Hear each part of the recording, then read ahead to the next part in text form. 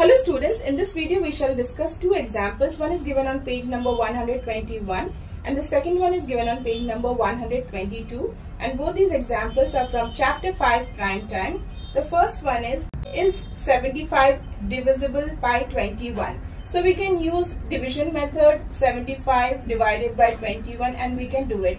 However, here we need to use prime factorization. So we will not use this method we will find the prime factors of 75 and 21 first.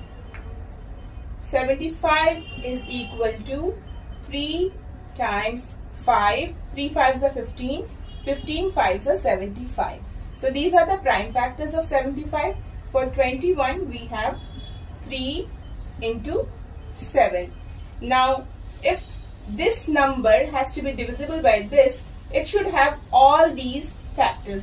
3 is there but 7 is not there.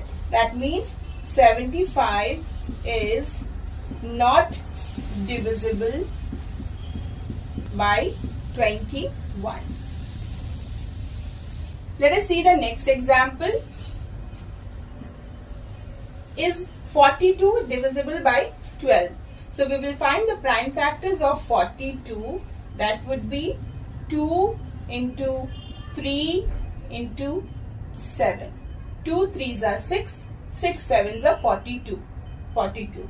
And for 12, we can write 2 into 2, 2 2s are 4, 4 into 3 is 12.